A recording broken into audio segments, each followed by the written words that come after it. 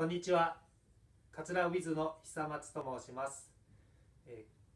ー、空港のゲートで桂田金属探知機に反応しないですか？とよくご質問をいただきます、えー、ウィズのスタッフもカツラをつけて空港のゲートをテストで通ったことがありますが探知機に引っかかって呼び止められるということはありませんでした、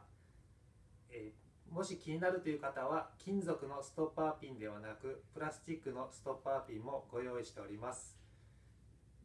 ウィズの方までお気軽にお問い合わせください。よろしくお願いいたします。